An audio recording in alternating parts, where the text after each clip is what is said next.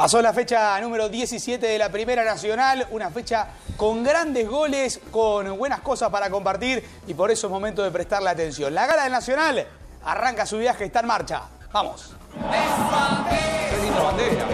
Mirá, atención porque en Crudera había fiesta. Y mira quién estaba, Juan Pablo Marrón. No, me mataste. Con su padre, dos generaciones, dos la tercera seguramente que va a llegar. Guanchope Ávila a Instituto, Campazo también. Ahí estaba la gente de la Gloria. Un Y también estaba Diego hizo Maradona, siempre presente. El Tristan Suárez. Atención, tremendo Nioca Pablo Rosales No, de es Temperley. Y este, mirá. Nioca Sí, no. por uno, Nioca por dos. Dos veces. Para Matías Jiménez. Para mí de los mejores goles del año. Sí. Lo vamos a ver otra vez. Sí, sí. Mirá, mirá, más o menos dice Jiménez. Sí, un gran jugador este Matías Jiménez. A prestarle mucha atención. Sí, no me gusta cuando dicen más o menos los jugadores, quiero dejarlo arreglado. Juega muy Cuando bien. la foto ¿eh? señala con el dedito a otro. No, no me gusta. Tampoco. Y este es Juan Galeano, bota de oro. El futbolista de Atlanta marcó de penal. Y después, No. cambio de arquero en Quilmes. Entró el hijo de Matute Morales. Pobre el Debutaba. Se la metieron olímpica. pelota y gol olímpico. Se Este la hombre. metieron olímpica, Galeano. Para que algunos es un fenómeno, para otros no dicen tiene mucha culpa. No mirá. Galeano también lo prueba de mitad de cancha. Sí.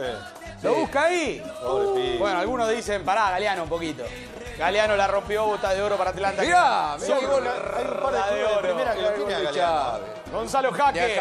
Que Platense lo quiere a Galeano. Así lo gritó Almagro, perdido 1 a 0, ganó 2 a 1, Berkovich. Sí, no, en dos minutos del Qué 49 y lindo. 50. Tolosa. la cabeza de oro porque Temperley sacó un gran empate, un Temperley que no estaba bien, que de la mano Chau Chabianco sigue sumando, le empató al líder Belgrano. Este es Lautaro Gordillo, el romperredes, Otro nuevo interesante, hace muchos goles. ¿eh? Hizo tres. jugador de Ferrocarril Oeste.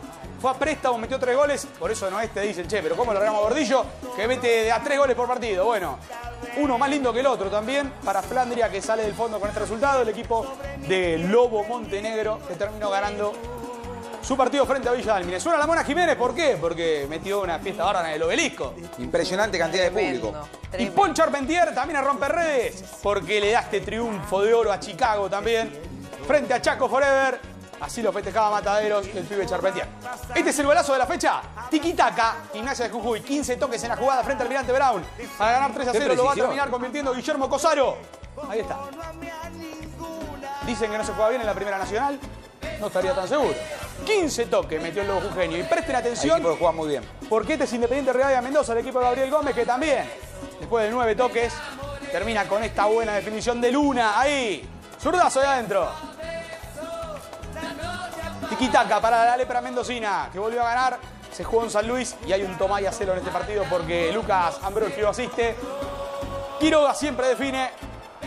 Tomaya celo para la lepra. Ambrogio quiero que juegue ya en primera. Sí, la verdad que, bueno, es argentino, ¿no? Sí, sí.